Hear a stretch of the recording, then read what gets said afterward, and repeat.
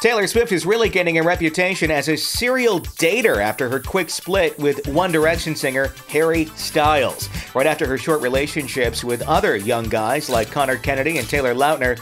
So, who does the country pop superstar have her eyes on next? Well, it's rumored she's hounding for Michael J. Fox's son, Sam Fox. But Michael J. Fox himself might stand in the way. When asked whether Taylor Swift could date his son, he tells Vulture.com, no, just back off.